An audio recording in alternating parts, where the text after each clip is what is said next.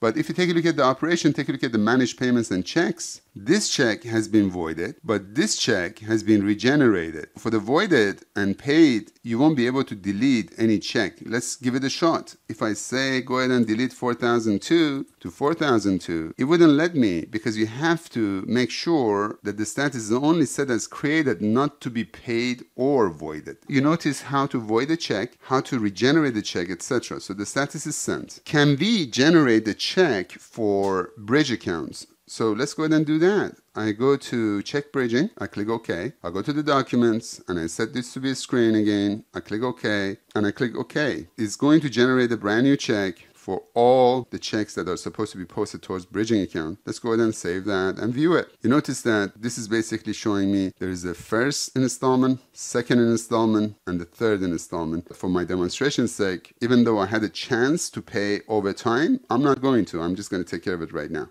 The value, they're all gone towards the bridging account. And now let's say we're going to post this. So by the time I post it to begin with, certain things are going to be different. The reason you will see the value of the trial balance changes immediately because we change everything to be synchronous or asynchronous. When I calculate the balances, the value indeed has changed to 60,000 and some change for domestic vendor account because the vendor invoices have been readily paid off. And as a matter of fact, if I refresh the open vendor invoices, those invoices that have been settled are gone. The only two invoices that are remaining, indeed, are those two invoices that you have not paid for. So these are open vendor invoices. That means you have not taken care of it. You have to pay them. I keep it as it is for future demonstration, but at this moment, you have already took care of the payments, so therefore everything has been indeed balanced properly and you can see exactly what is going on. For domestic account, you have nothing left. You have paid entirely. By going through this demonstration, you have seen the daily procedures within accounts payable, distribution of accounts, charges for the header, for the line, and that concludes the accounts payable daily procedures.